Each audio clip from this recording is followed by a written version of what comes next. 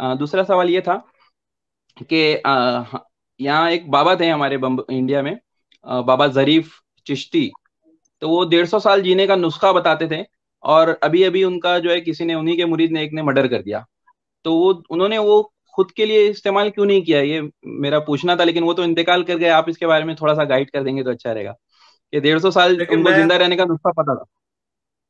मौत को थाने वाला का वजीफा। अब 150 साल तक, डेढ़ सौ साल तक ज़िंदा रहोगे। जब ये कहते हैं कि मैं या जरीफ बाबा, या जरीफ बाबा हमेशा पढ़ते रहते थे।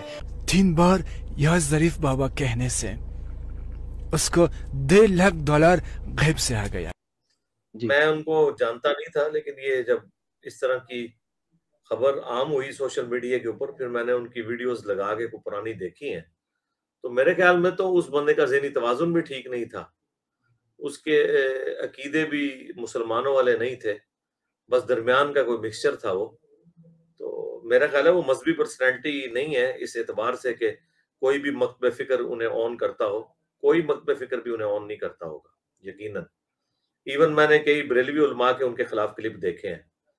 तो अगर बरेलवी उनको इस एतबार से गलत कह रहे हैं तो फिर बाकी तो आप समझ सकते हैं कि उनकी तो ज़रूरत ही को नहीं ना रही, क्योंकि ज़्यादातर तो बरेलवियत ही इस तरह की तसवुफ की चीज़ों को ऑन करता है।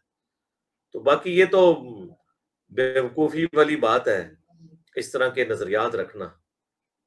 इसका जवाब खैर उनके मानने वाले आपको देंगे कि उन्होंने नेचुरल डेथ की बात की थी। जो इस तरह की डेथ है, वो उस कैटेगरी में नहीं आती, ये तो हसाती मौत हुई है ना। बीमारी से तो नहीं मरे ना। अगर बीमारी से मरते तो शायद डेढ़ सौ साल तक वो ज़िंदा रहते, उन्होंने तो यही कहना है आगे से।